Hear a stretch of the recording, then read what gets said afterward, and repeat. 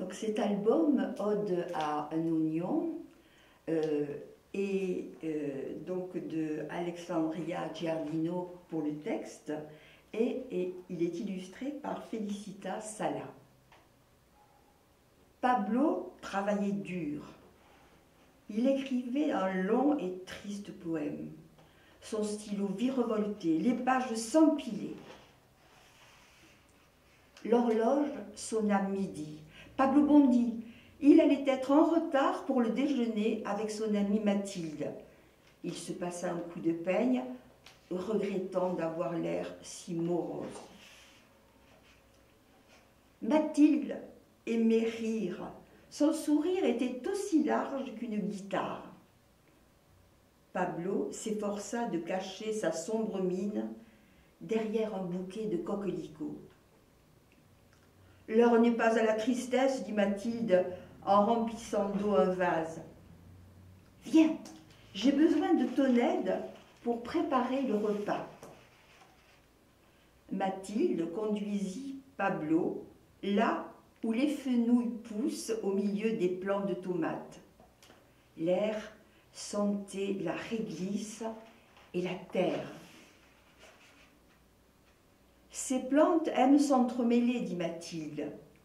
Elle cueillit une tomate. Sans doute se battent-elles pour recevoir plus de soleil, soupira Pablo. Oh non, s'amusa Mathilde. C'est juste qu'elle danse un tango. Pa, pa, pa, pa, pa, pa, pa, pa, pa, pa. Mathilde s'avança vers un endroit aux senteurs acidulées et sucrées. Monaille est tombé amoureux de mes roses, dit-elle, récoltant un bulbe. Pablo secoua la tête. Quelle tristesse de devoir les séparer. Oh, ils se retrouveront. Mathilde coupa un bouton. Maintenant, aux oignons. Mathilde se dirigea vers le pêcher. Mes oignons poussent ici, expliqua-t-elle, parce qu'ils veulent protéger les pêches. C'est vrai que leurs tiges ressemblent à des épées, dit Pablo. Il regarda Mathilde extirper un bulbe du noir de la terre. Merci de prendre soin des pêches, murmura Mathilde à l'oignon. Maintenant, c'est pour ma cuisine que j'ai besoin de toi.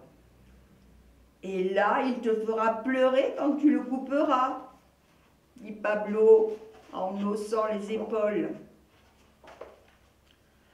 Ah, mon cher poète, dit Mathilde, tu es si triste aujourd'hui, tu vois tout en noir.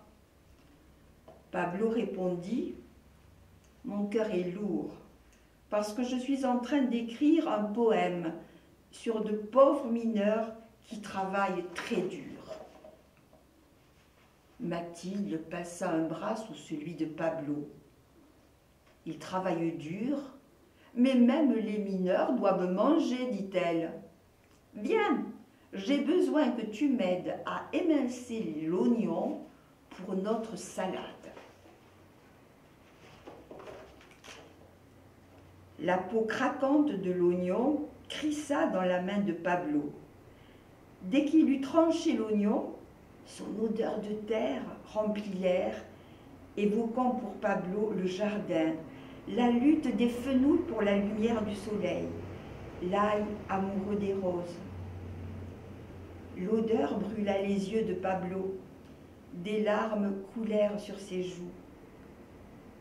Au début, tout ce qu'il vit à travers ses larmes n'était qu'un modeste légume. Puis, il remarqua la façon dont le soleil miroitait à travers les couches de l'oignon. L'oignon est venu des profondeurs de la terre, dit Pablo, pour briller telle une lune éclatante. N'est-ce pas que les oignons sont beaux, dit Mathilde? Et encore, tu ne l'as pas goûté. Pablo croqua une tranche. D'abord la vivacité, puis la douceur, il offrit un morceau à Mathilde.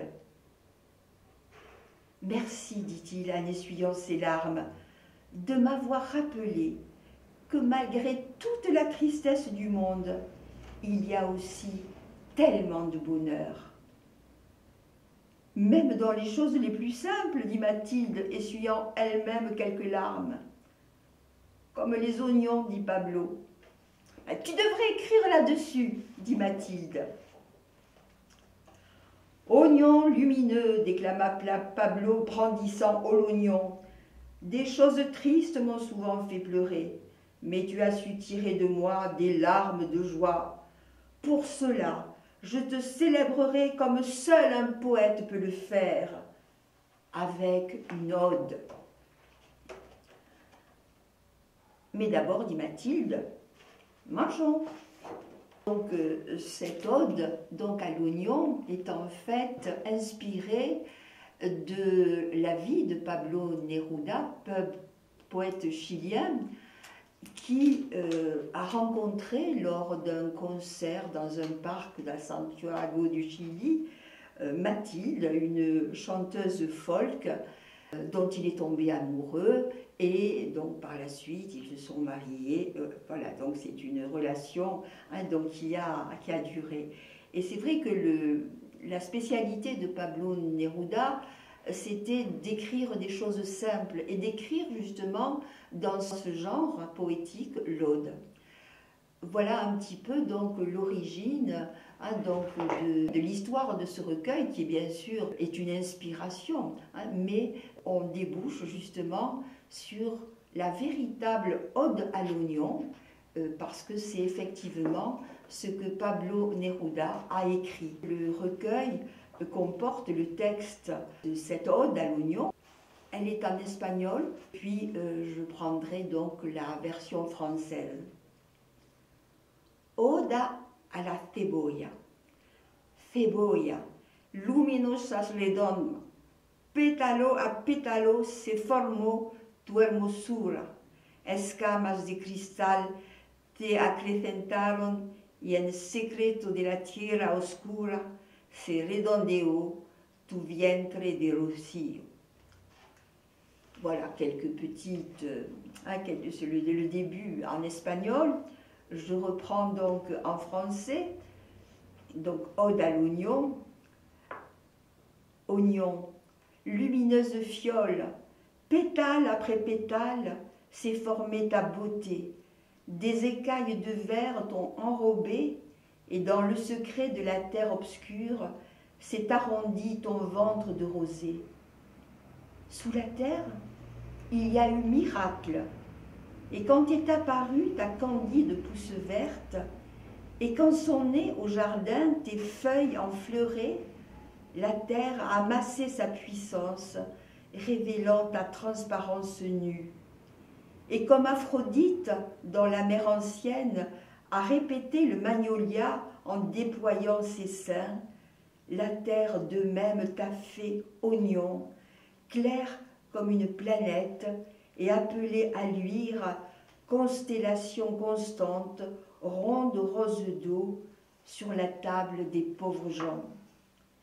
Généreux, tu défais ta bulle de fraîcheur dans l'union fervente de la poêle et l'éclat de verre sous la chaleur dévorante de, de l'huile devient plume d'or qui boucle. Je dirai encore combien ton empreinte féconde l'amour de la salade, et le ciel semble me rejoindre, te donnant fine forme de grêle pour chanter sa clarté menue sur les hémisphères d'une tomate. Mais à portée des mains du peuple, arrosé d'huile, saupoudré d'un peu de sel, tu mates la faim du journalier sur le chemin mauvais. Étoile des pauvres, marraine la bonne fée enveloppée d'un délicat papier, tu sors du sol, éternel, intact, pur, comme semaille d'astre, et quand te coupe le couteau dans la cuisine, monte l'unique larme sans peine. Tu nous as fait pleurer sans nous affliger. J'ai chanté tout ce qui est oignon, mais pour moi, tu restes plus merveilleux qu'un oiseau aux plumes aveuglantes. Pour mes yeux, tu es globe céleste, comme coupe de platine dans danse immobile d'anémone enneigée. Et comme elle vit la fragrance de la terre dans ta nature cristalline.